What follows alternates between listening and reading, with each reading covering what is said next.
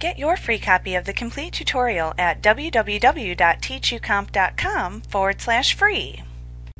The Replace Color command can replace any colors in your image you wish to another color. To use this command, we create a mask and then adjust the hue and saturation of our selected colors to produce our desired results. First, select Enhance from the menu bar. Roll down to Adjust Color, and then over to Replace Color, and give that a click.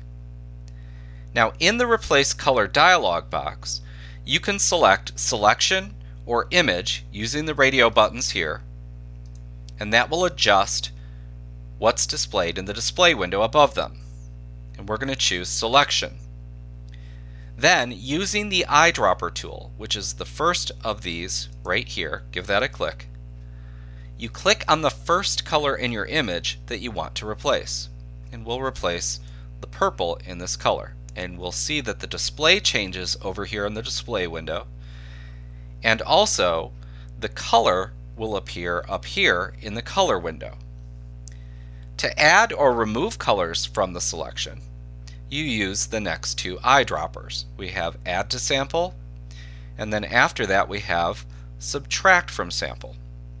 We want to add more of the purple, so we will click the add to sample. We'll go down into our image and click around more on the purple. Under that you have what's called the fuzziness slider, and that allows you to choose colors similar to the one you select and fine tune your selection. You simply click on it and drag to adjust your selection.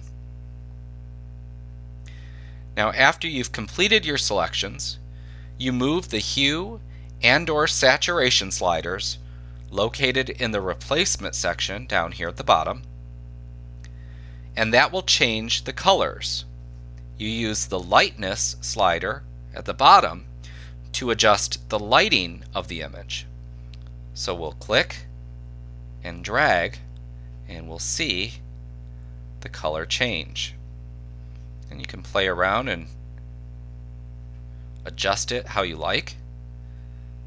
And once you have it looking the way you like, you simply click OK. Like what you see? Pick up your free copy of the complete tutorial at www.teachucomp.com forward slash free.